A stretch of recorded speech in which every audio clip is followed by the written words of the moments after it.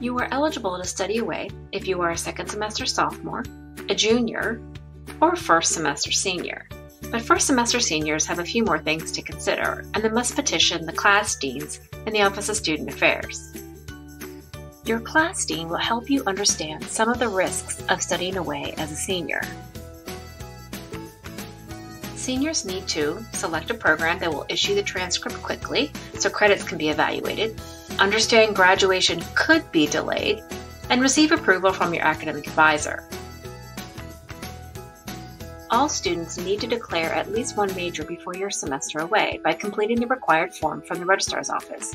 To declare a major, you need to be assigned an academic advisor who can also advise you about study away in that major. Consider all the reasons why you want to study away, as this will help you craft and achieve your goals.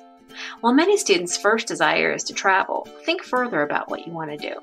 Play your sport, take a research course, learn a language, there are many resources at Amherst to help you consider all aspects of study away. Advisors in global education can help you find programs that match your goals and interests. We can help you identify programs in countries you've already been considering, and we may even suggest new ones in different locations.